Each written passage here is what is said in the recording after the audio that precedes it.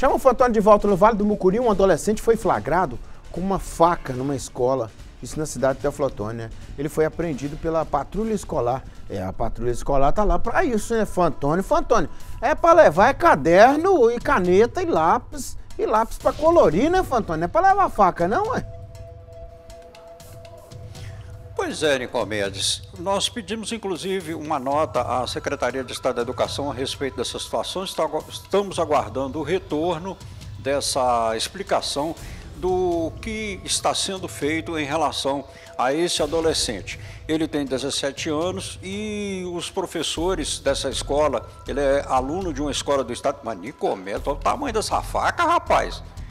Tem o que aí? Uns do, um palme mais uns, mais uns dedos o tamanho dessa faca, uma faca tipo peixeira, aproximadamente 30 centímetros de comprimento e é uma faca conhecida também como faca de açougueiro, muito utilizada em açougue.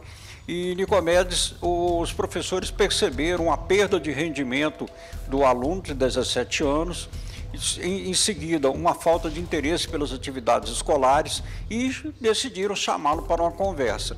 Em meio a essa conversa, evidentemente que participaram os especialistas, né, os professores que são é, capacitados e qualificados para fazer essa percepção de mudança de comportamento, de falta de interesse do aluno e chamaram também a Polícia Militar, que tem uma equipe especializada em fazer a segurança nas escolas, mas também contribuir com aquela ótica da segurança pública para a estabilidade da comunidade ou dos alunos. E no meio da conversa, o aluno pediu para que fosse é, é, que, que os professores trouxessem a mochila que ele, estava, que ele tinha deixado dentro da sala de aula, ele saiu para conversar, não levou a mochila, quando trouxeram a mochila, foi feita a verificação e aí acharam essa faca, Nicomedes.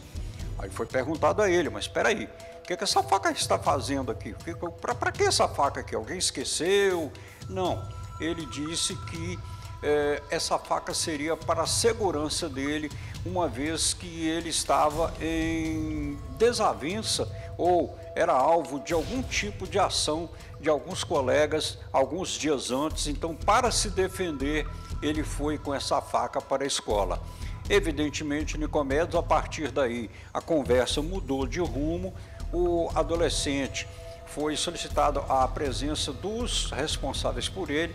Ele foi levado à delegacia para o registro da ocorrência e agora vai passar por uma equipe multidisciplinar para avaliação desse comportamento, equalizar essa situação, saber quem são as pessoas. Então, Nicomedes, a questão é, além desse adolescente, vão ser identificadas também as pessoas com quem ele estava é, supostamente em litígio, em desavença, ou, ou, ou se, se, é apenas aquelas questões, apesar dos 17 anos, se é apenas aquela questão de escola, se tem outras situações envolvidas, tudo isso será monitorado e nós vamos aguardar o posicionamento da Secretaria de Estado da Educação. E Nicomedes vai aqui, você inclusive, um amante da educação, pode falar muito bem a respeito disso, da necessidade que os pais também acompanhem os filhos para perceber, porque esse comportamento durava em torno de uns três a quatro dias, mas evidentemente os pais também podem contribuir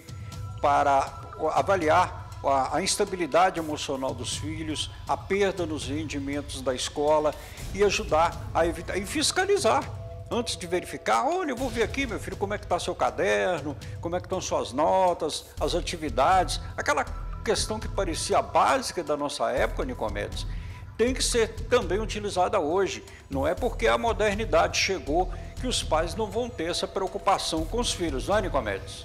É, não, tem que acompanhar para não não incorrer num, num, num, absurdo maior, né, Fantônio? Quer dizer, dessa vez alguém identificou a faca, né? E se não tivesse identificado e ele tivesse realmente encontrado com essas pessoas que o ameaçam ou que tem guerra com ele ou vice-versa, o que, que a gente poderia estar tá falando aqui, né? Poderia estar tá falando de adolescente armado, é, revida agressão e mata colega numa escola de Teoflotone. A ocorrência poderia ter esse título, né?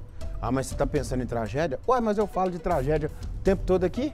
Quando eu vejo uma ocorrência dessa aí, quando eu ouço o Fantônio me contar, a minha mente vai nisso aí, ó. É um, uma tragédia maior que foi evitada. E fica aí o alerta do Fantônio, que eu endosso, aos pais poderem acompanhar de perto os filhos, né? Tá complicado esse trem hoje. Deixa tudo por conta da escola, Fantônio. Não é fácil, não. Obrigado, tá, meu amigo? Depois você volta aqui no BG. Nossa, Deus do céu.